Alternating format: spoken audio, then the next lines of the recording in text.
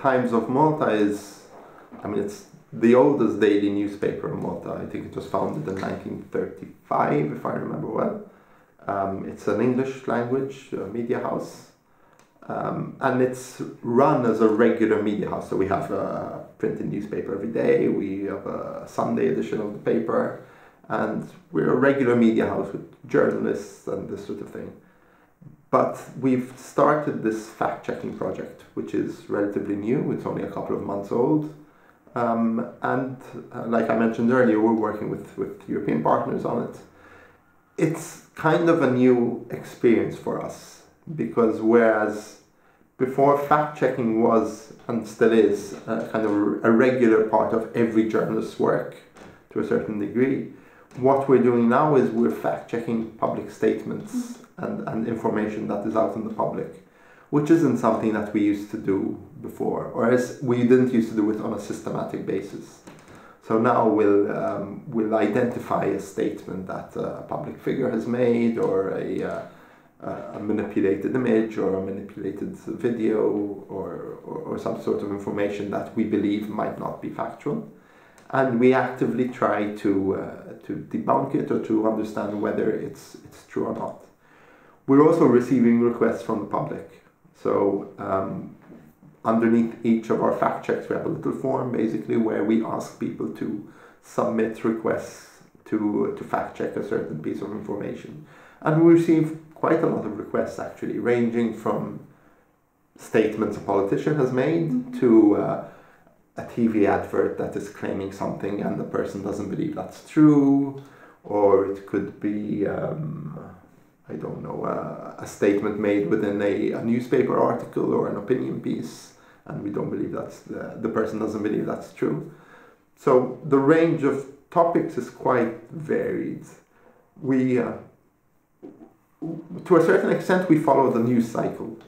So, for instance, recently there was a, a local controversy about um, a hospitals deal, and that was quite broadly discussed uh, in general. And we tried to fact check a number of things related to that hospital deal. So people were, you know, throwing around a lot of numbers about how much this deal cost. We tried to look into what is true and what isn't. Uh, the prime minister made a number of statements. We tried to kind of fact check those because he made a speech in parliament. So we do kind of follow the news cycle broadly.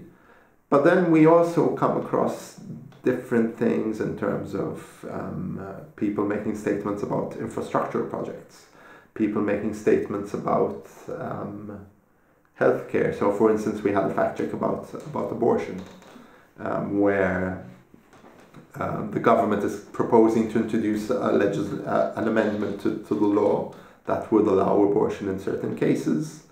But you also had medical professionals that were citing figures that turned out not to be true or not to be accurate. So we, we and they were being cited in court, which is quite a problematic place to, to uh, cite misinformation. Um, so we we carried out a fact, fact check on that.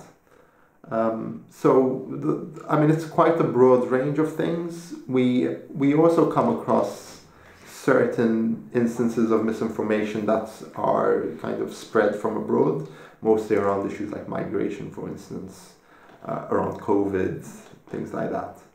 Um, but those were a little better placed to fact check them because very often we find that they've already been fact checked by, by uh, a partner organization. So it's kind of simpler to fact check.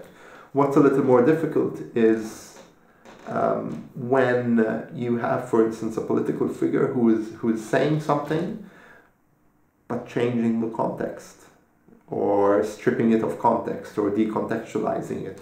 And that makes it more difficult to, to, to fact check because what they may be saying could poten- potentially be true, but it's being said within a particular context for political reasons or for, for whatever reasons.